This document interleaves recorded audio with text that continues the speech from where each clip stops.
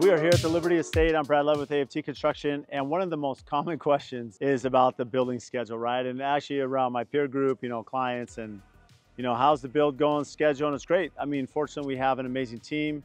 Um, internally on this, we're working with some of our most incredible trade partners and suppliers on this project, which we're very fortunate. And one thing to note, you know, and I think it's advice for anyone building their own home, is not that you overthink the build, but there's definitely a lot of thought, you know, that goes into the process, not just for how we'll live in it as a family, but also, right, as we put this out here on social media, as we look at the reason we're doing ICF, the reason we're doing the foam, why we went with Stego Mat, you know, a lot of the brands that we're working with, um, why we chose them and how they're making a big role and impact, not just on this build in particular, but really across the board on all of our projects for all of our clients. And and really what they're doing industry-wide to help us be a better builder.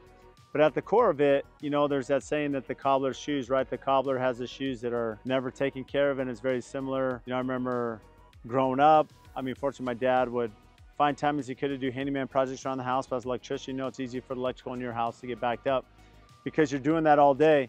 And so how it relates to being a general contractor doing your own build is keeping in mind that you know, partnering with a lot of my subcontractors and suppliers on this build, well, at the reality is, like we're dealing with right now, the concrete company we're using, which is exceptional, right? We have other client needs that are happening at the same time. And it just so happens that my build is happening uh, in the exact moment that we have some of our client builds, you know, at the same phase and, and stage of construction.